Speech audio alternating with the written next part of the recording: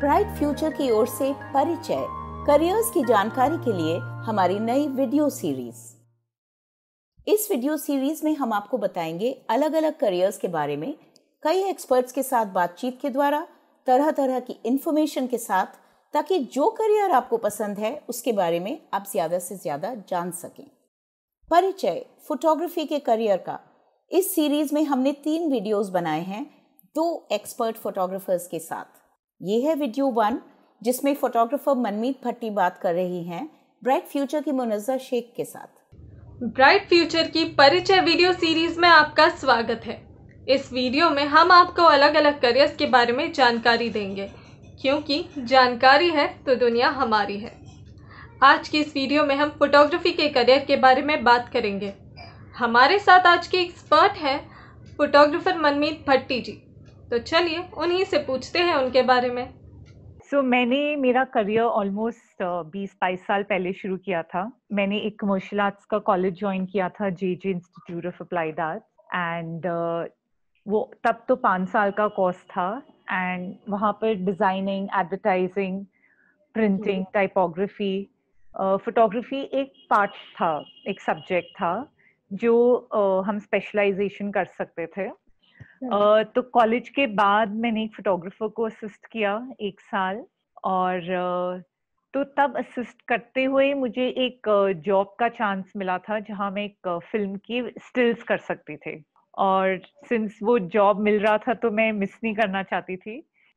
और उसके बाद फिर मैगजीन्स एंड एडवर्टाइजिंग के लिए शूट किया एंड बस ऐसे ही चलता रहा। लेकिन अगर कोई मेरे जैसा मुझे अगर फोटोग्राफी करनी है, मान लो तो मुझे क्या कोर्स या ट्रेनिंग सबसे पहले करना होगा? या फिर मैं साइंस फैकल्टी की हूँ या कॉमर्स की हूँ तो क्या मैं फोटोग्राफी में अपना करियर बना सकती हूँ? आई थिंक फोटोग्राफी के लिए सबसे पहले तो एक इंटरेस्ट चाहिए। जो कि कोई भी लाइन स्टार्ट करने से पहले आपको एक इंटरेस्ट होना चाहिए कि हाँ ये मैं करना चाहती हूँ। थोड़ा टेक्निकल नॉलेज इम्पोर्टेंट है। कैमरा यूजेज सेटिंग्स वो सब। तो उन सब चीज़ों के लिए आई थिंक एक कोर्स कर लो तो अच्छा है। तो फोटोग्राफी एक ऐसा सब्जेक्ट है जो आप कुछ नहीं भी करो तो खुद से भी कर सकते हो। बट ये कि डेफिनेटली अगर आप कोई कोर्स करो तो थोड़ा इजी हो जाता है। क्रिएटिविटी आप में से आपसे आनी होती है। तो जितना आप वर्क करेंगे उतनी आपकी क्रिएटिविटी एक्सपैंड होगी। असिस्ट करने से मुझे भी बहुत पता चला। छोटी छोटी चीज़ें जो कोई सिखाता नहीं है बट आप देख के सीखते हो। इवन छोटी चीज़ें जैसे बिलिंग कैसे करूँ? शूट पे क्या क्या छोटी रिक्वायरमेंट्स होती हैं? टाइम पे खाना भी आना चाहिए क्रू के लिए। सो so, ये जो फोटोग्राफी छोड़ के बाकी और सारी चीज़ें।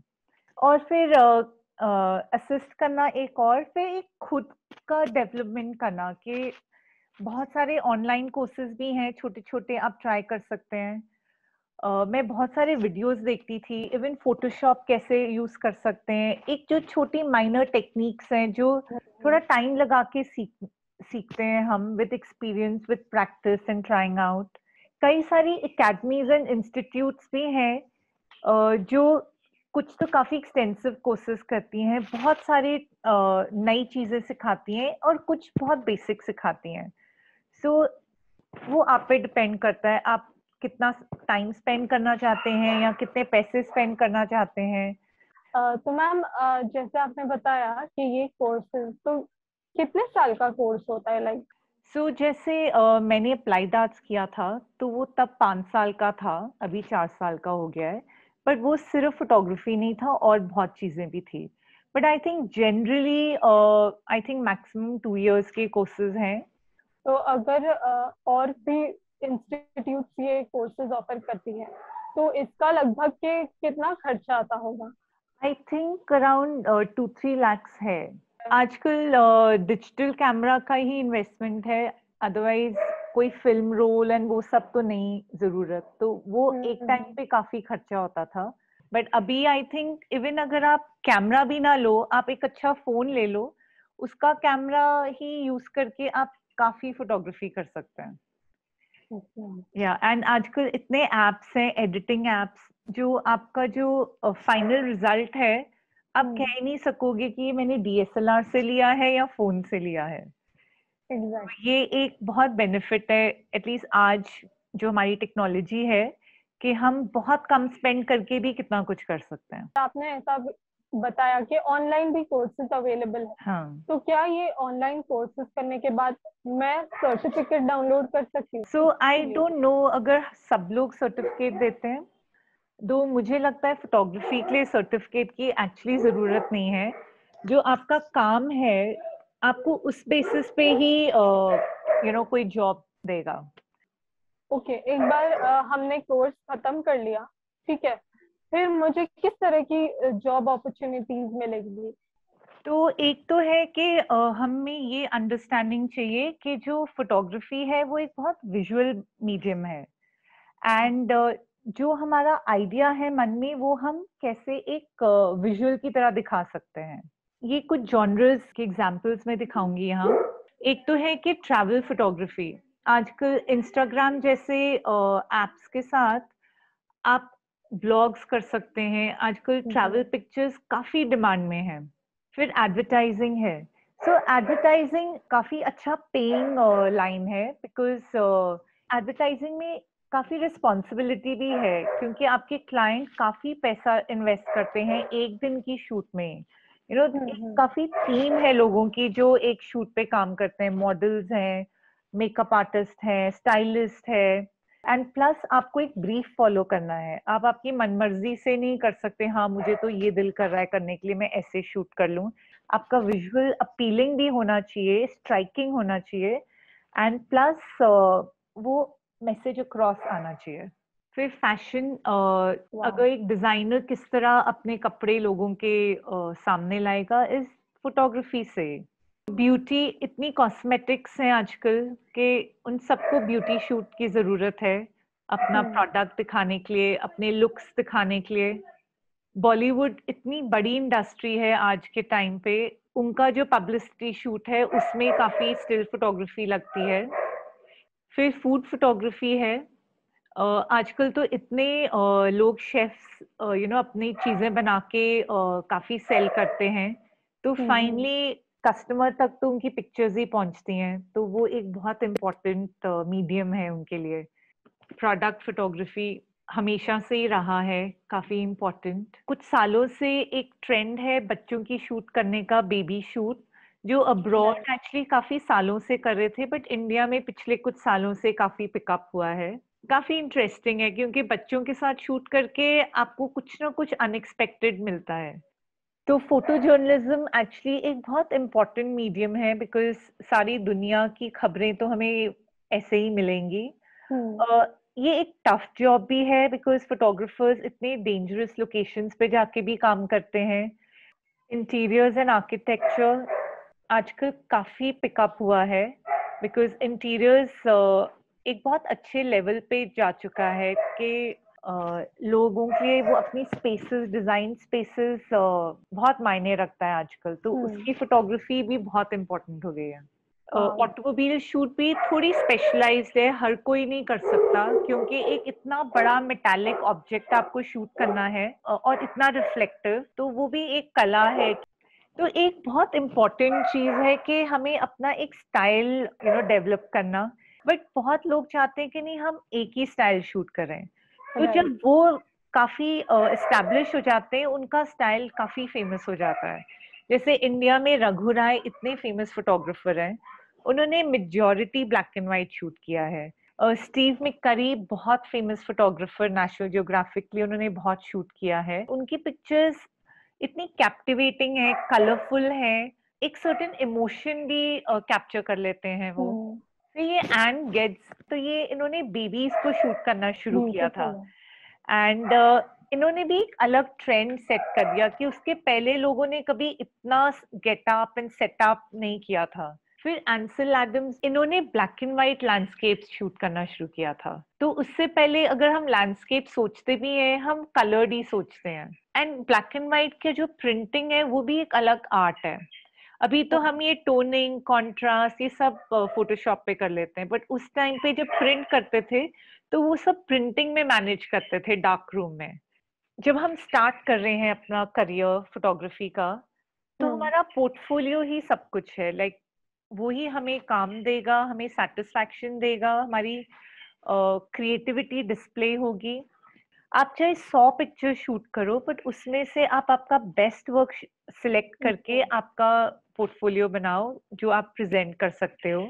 एक्सपेरिमेंटल uh, वर्क बहुत इम्पोर्टेंट है क्योंकि आपको खुद को सीखने को इतनी चीज़ें मिलती हैं और आपका जो काम है उसका लेवल रेज होता है। इनफैक्ट कोई भी क्रिएटिव फ़ील्ड में आपको कुछ नया चाहिए देखने के लिए।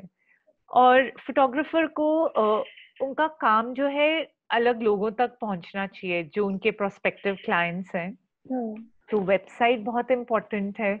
आजकल सोशल मीडिया पे आप इंस्टाग्राम या फेसबुक पेज कर लीजिए जो कि इक्वली वर्क करता है। तो सोशल मीडिया इज़ बहुत ही इजी रीचेबल काफ़ी इफ़ेक्टिव है।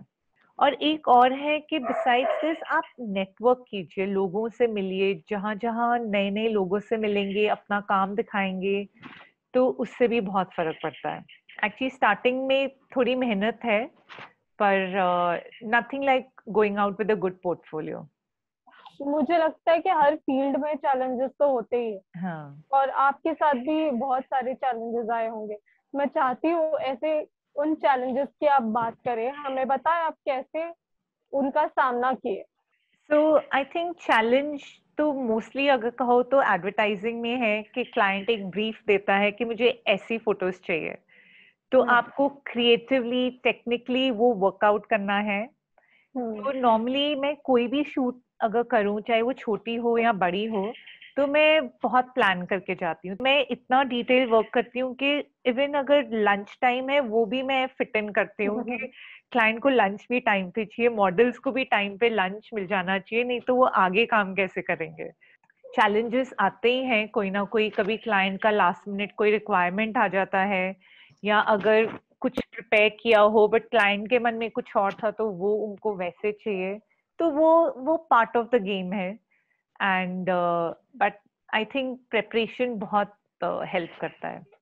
आप टाइम नहीं वेस्ट कर सकते शूट पे। एक uh, मेरा बहुत इंटरेस्टिंग एक्सपीरियंस uh, था कि मैं जिनी जॉनी के लिए शूट कर रही थी जो बच्चों की क्लोथिंग कंपनी है। एंड हाँ, हाँ, हाँ. हमने काशिद गए थे शूट करने के लिए। बेसिकली uh, बीच पे करना था। एंड uh, जो हमारा कोऑर्डिनेटर था वो लास्ट मिनट तक नहीं आया था। तो मैंने दो दिन रेकी की फिर सब मॉडल्स जो बच्चे हैं रात को 11-12 बजे तक पहुँचे वहाँ पे। उन सबको रूम्स में ठहराया लाइक उनका उनको सॉर्ट आउट किया। फिर सुबह पाँच बजे उठना होता है अगर लोकेशन शूट हो बिकॉज़ आपको अर्ली मॉर्निंग लाइट चाहिए। तो वो जाके शूट किया सारा दिन फिर बच्चों का खाना पीना भी बीच में देखना था। एंड सारा दिन बच्चों को संभालना उनके पेरेंट्स को भी संभालना तीन दिन कंटिन्यूसली सुबह से रात तक शूट करना। और बेस्ट है। कि जब तक शूट चल रही है ना आप में वो एनर्जी है। वो थकावट शूट के बाद आती जब बिल्कुल खत्म हो जाएगी तब तभी लगता है कि हाँ काफ़ी पाँच दिन से like continuously day night day night तो बट काम करने के वक्त वो एक्साइटमेंट भी रहती है तो वो एनर्जी आ ही जाती है। Uh, मैं चाहूँगी कि आप एक अगर छोटा सा मैसेज देना चाहें उन फोटोग्राफर्स उन बच्चों को जो फोटोग्राफी में अपना करियर बनाना चाहते हैं। लाइक like, इतने सालों में मैंने रियलाइज़ किया है कि एक्सपेरिमेंटिंग और प्रैक्टिसिंग कोई रिक्वायरमेंट नहीं भी हो बट आप अपनी क्रिएटिविटी पे वर्क करते रहिए वो बहुत इम्पोर्टेंट है। आपकी अंडरस्टैंडिंग कितनी बढ़ती है? चाहे हो लाइट हो चाहे प्रॉप्स हो चाहे कुछ छोटी डिटेलिंग हो तो ये छोटी छोटी चीज़ें जब आप एक्सपेरिमेंट करते हो तो बहुत फ़र्क पड़ता है। जब आप फाइनली कहीं यूज़ करो वो हम्म, हम्म। सारी चीज़ें। प्लस टेक्नोलॉजी भी इतनी आ गई है इतनी एडवांस्ड हो गई है इतने टूल्स हैं हमारे लिए यूज़ करने के लिए। तो अगर वो सबका नॉलेज हो तो हमारा जो एंड फोटोग्राफ है या इमेज है उसका जो स्टैंडर्ड हम काफ़ी रेज कर सकते हैं। हम्म। कोई नहीं देखता कि आपने एक घंटा लगाया या दस घंटे लगाए वो फ़ोटो परफेक्ट होनी चाहिए। तो एंड ऑफ़ द डे वो जो इमेज देखे सेटिस्फैक्शन मिलती है तो वो जितनी मेहनत की हो वो सब जस्टिफाइड uh, हो जाती है। तो ऐसा भी होता है सारा दिन शूट करके आओ तो इतना मज़ा आया होता है कि होता है हाई कल आई विश ये शूट दोबारा कर सके। थैंक यू सो मच आपकी इस जानकारी से हमारे उन यंगस्टर्स को बहुत फ़ायदा होगा जो फोटोग्राफर बनना चाहते हैं। सो ब्राइट फ्यूचर की ओर से बहुत बहुत शुक्रिया। इस फोटोग्राफी सीरीज़ के हमने तीन वीडियोस बनाए हैं। तो बाकी दो भी देखना ना भूलें। बाकी दो वीडियोस के लिंक अभी आएँगे। उन पर क्लिक करना ना भूलें। इस वीडियो को पूरी तरह बनाया है। ब्राइट फ्यूचर की मार्केटिंग और कम्युनिकेशन टीम ने शुभ आरंभ फाउंडेशन के साथ। ब्राइट फ्यूचर युवाओं को अपने करियर और अपनी ज़िंदगी के बारे में सही निर्णय लेने के लिए तैयार करता है। इस तैयारी में शामिल हैं उनकी लाइफ स्किल्स बढ़ाना करियर का विकास, सलाहकार दिलाना इंटर्नशिप्स और नौकरी के अवसर भी दिलाना। इन सब चीज़ों से ब्राइट फ्यूचर युवाओं के सपनों को फ़ायदेमंद रोज़गार में बदलता है।